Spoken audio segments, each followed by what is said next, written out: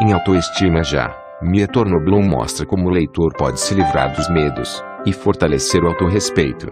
Ao abordar diversas áreas da vida, a autora oferece orientação de como encarar dúvidas e receios de forma positiva, estabelecer, curar-se do estresse e analisar os problemas sobre outras perspectivas. 208 páginas 2010.